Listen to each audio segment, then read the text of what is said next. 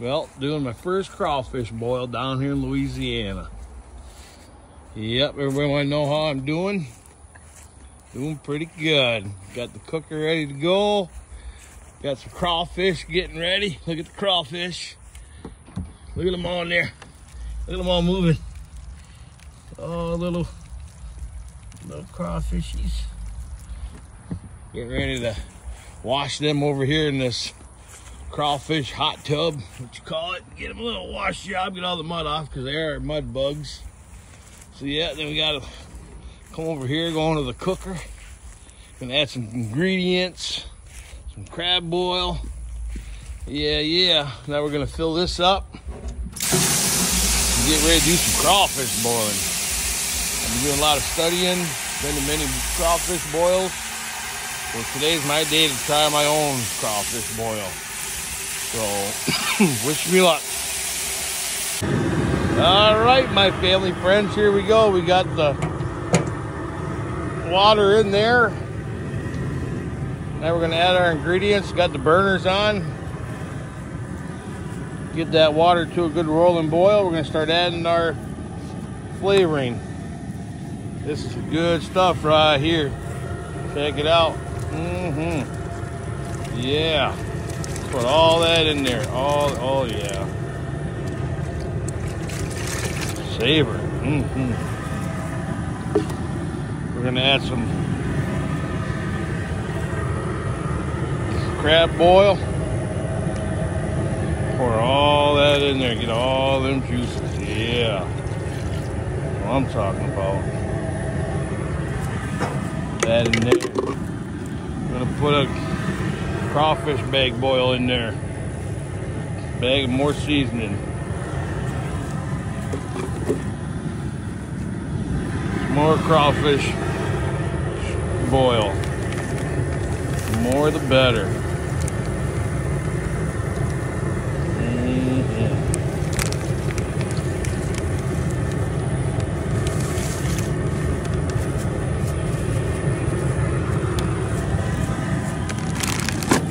Left over. We're gonna pour the rest of this in there from the last time.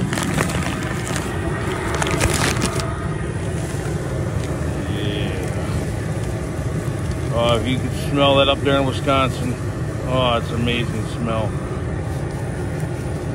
Amazing.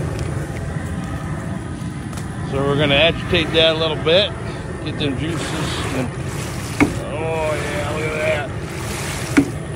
Them flavors mixed around. Now we're gonna add our lemons. I like squeeze them, drop them. Squeeze them, drop them.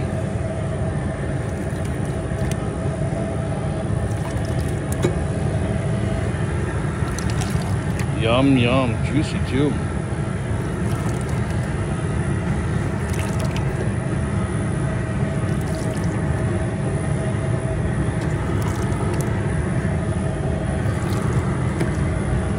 Nice citrus flavor.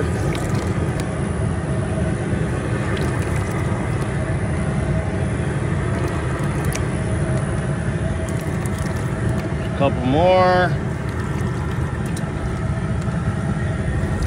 Here we go. Now we're going to add some potatoes, sweet potatoes, garlic. We add this stuff because this takes a lot longer to boil. Yeah. We're to add some mushrooms, soak up all that flavoring. Mm-hmm.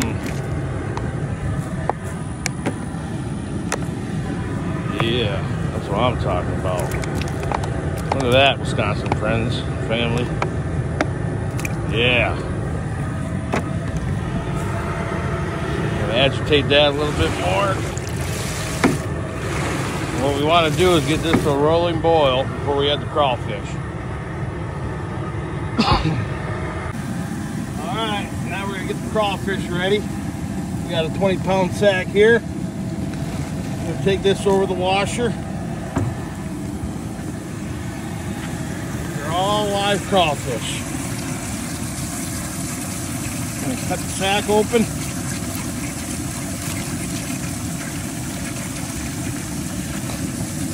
Cut it open more. Gonna throw them in this nice whirlpool. Washes all the mud off them. Here we go.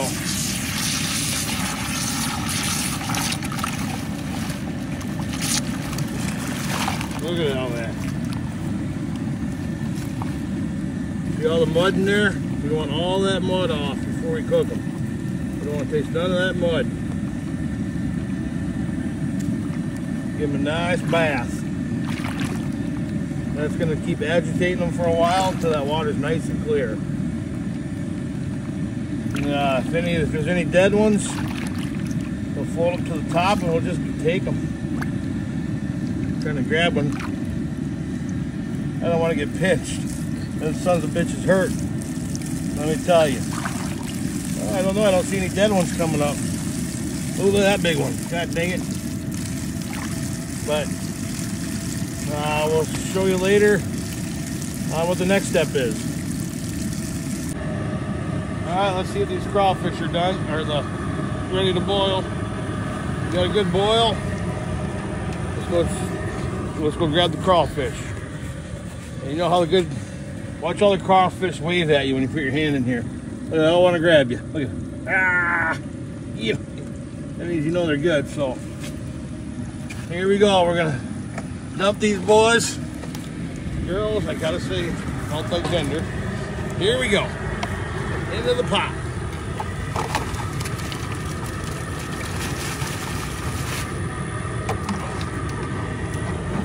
This guy's here. This guy down here.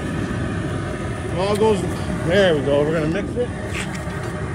Stir it up. So what we're gonna do, we gotta wait till this gets to a roll, rolling boil again. We'll, for three minutes.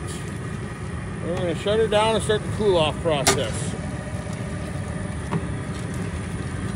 All right, we'll uh, touch back later.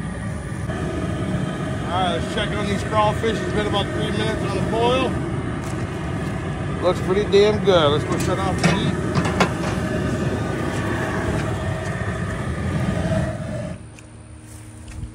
Cool it down. We gotta cool it down so it don't continue to boil. So we're gonna add some cold little smokies.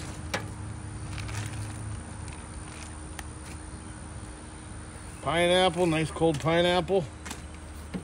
Gonna soak up them flavors. Some andouille. Hope I said that right. I'm still learning terms. Did I say that right? Andouille? Awesome. And then some frozen corn. What we want to do is stop this boil for so they don't keep cooking. That's the plan. We might cook it, uh, we might let it soak for 25, 30 minutes, so long as you soak it. Uh, the more flavor is in the meat. So the key here is, is uh, I think we might add some ice. Let's add some ice too. Little bit of ice in there.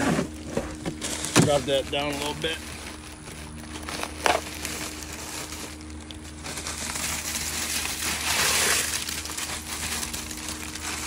There we go, that should be enough for that.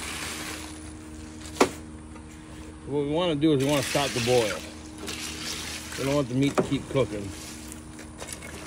We want these uh, crawfish to start sinking. When they sink, that means they're sucking in the juices. Yeah, there they go. See them starting to sink? Starting to cool off good. We stopped the boil. That's good.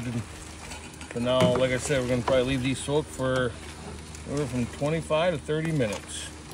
So stay tuned for later. Thank you. Here's one of these feisty guys I just found on the ground. Look at him. He is mad at me. What's up, buddy? What we get? Oh, defense mechanism. We're gonna check it out, see how they're doing. It's only been about 15 minutes. We're gonna see, uh, we're gonna taste one. See how the, see how the flavor is. Mm-hmm. Yummy, yummy. Now, to eat a crawfish down here in Louisiana, you gotta twist the tail, pull, You can take this first ring off. Mm, grab the tail and suck. Mm-hmm. Then you suck the head. Yeah. That's Louisiana crawfish. All right, been about a good 30 minute soak. Here we go. Here we go. Mm-hmm. Slowly lifting this up, drain it out. Nice and easy. Mm-hmm.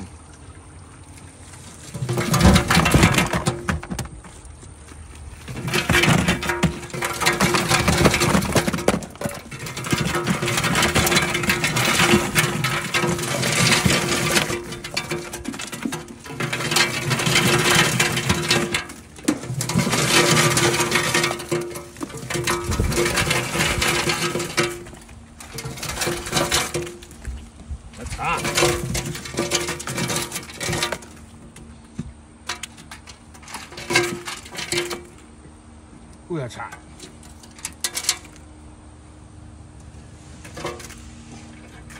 right, now we're gonna take it over to the table. Mm-hmm.